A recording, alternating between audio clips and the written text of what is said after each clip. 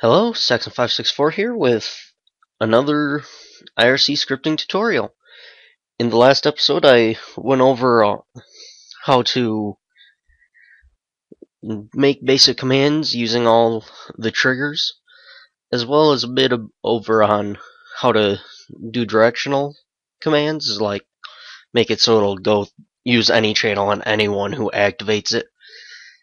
And today, we're going to go uh, we're going to go deeper into directional commands. So, um, most of the time, directional commands are done with the text, and we'll do we'll change that help to attack, and then an a star at the end will allow allow you to accept any input after the trigger input.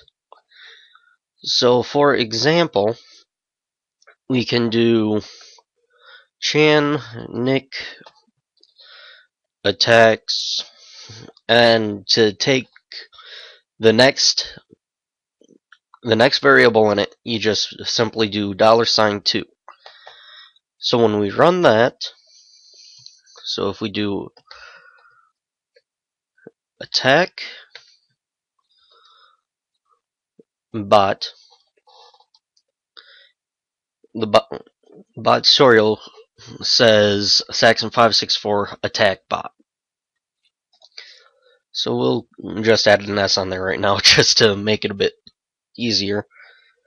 Um and then this can be used for anything.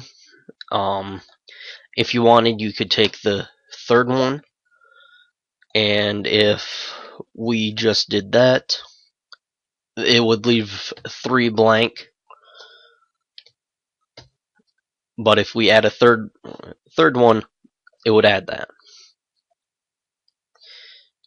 So one way to uh, prevent this one from happening where it doesn't give that um actually we'll go over that in a later episode uh, the next episode 4. So one then this can be used for just about anything. Um mo this is about the most basic you can get if you're trying to get get directional uses. Um let's see here. So you could you could even go as far as to do that, add multiple. So if we just did attack bot, it shows that. Whoops. Attack bot high, it shows the bot high. And then it'll show that. So you can do as many as you want. Um, if you want to have it display them all, you can do that. So if we do that, um, I don't seem to recall that it would do that before. That's interesting. So I guess what it, uh, the last time I was messing around with this type of thing, it would display all three on there. But I guess now it does a new message for each one. So yeah, that's actually as much as we could go over for that. Um, there's not much else than I that I can think of.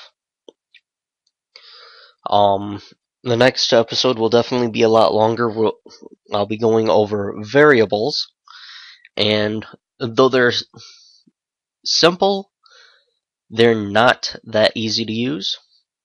So, I know it was a short tutorial, but that just means you can get back to scripting with this type of thing sooner. So thanks for watching. Bye.